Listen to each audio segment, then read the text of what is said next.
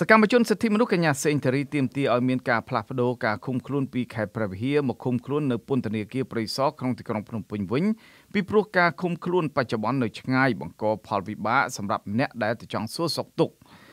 ប្រធានគណៈកម្មាធិការកម្ពុជាឯករាជ្យប្រឆាំងអំពើពុករលួយអ្នកស្រីមុំស៊ីថាបានសរសេរនៅលើកេណនី Facebook របស់អ្នកស្រីកាលពីថ្ងៃទី22ខែសីហាឆ្នាំ2022នេះថាអ្នកស្រីបានចូលទៅពន្ធនាគារខេត្តព្រះវិហារជួបសំណេះសំណាល ដោយផ្ទាល់ជាមួយនឹងកញ្ញាសេងធីរីអ្នកស្រីបន្តថាស្មារតីរបស់កញ្ញាសេងធីរីមិនស្រស់ចត់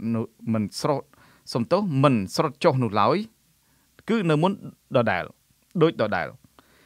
ប៉ុន្តែកញ្ញាត្អូញត្អែថាជាការឃុំក្នុងពន្ធនាគារខេត្តព្រះវិហារនេះគឺកញ្ញាមានអារម្មណ៍ឯកោណាស់ព្រោះថាខេត្តនេះគឺជាខេត្តដែលនៅឆ្ងាយដាច់សំវែងពីទីក្រុងភ្នំពេញខ្លាំងណាស់ដែលមានការពិបាកសម្រាប់អ្នកដែលចង់ទៅសួរសុខទុក្ខកញ្ញា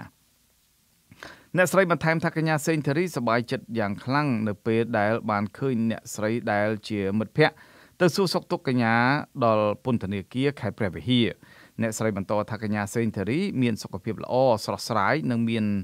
ប្រឡោះទទួលទានដំណេកសមល្មមមិនចង្អៀតណែនពេកនោះទេ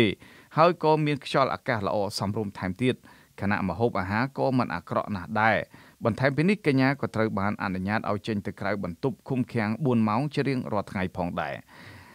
កាលពីថ្ងៃទី14ខែមិថុនាឆ្នាំ2022សាលាដំបងរាជធានីភ្នំពេញបានសម្រេចផ្តន្ទាទោសកញ្ញាសេងធារីដាក់ពន្ធនាគារចំនួន6ឆ្នាំនិងចេញដីកាបង្គាប់ឲ្យចាប់ខ្លួនភ្លាមៗនៅមុខសាលាដំបងរាជធានីភ្នំពេញដែលមានសមត្ថកិច្ចប្រមាណ50នាក់ដោយបញ្ជូនពលរដ្ឋខ្មែរអាមេរិករូបនេះទៅឃុំខ្លួនក្នុងពន្ធនាគារព្រៃសរភ្លាមៗក្រោមបទចោទរួមគំនិតក្បត់។ ប៉ុន្តែនៅថ្ងៃទី15ខែមិថុនាកញ្ញាសេងធារីត្រូវបានសមត្ថកិច្ចក្រុងភ្នំពេញបញ្ជូនទៅឃុំខ្លួននៅពន្ធនាគារខេត្តព្រះវិហារក្រោមហេតុផលថាកន្លងមកកញ្ញាសេងធារីបានធ្វើ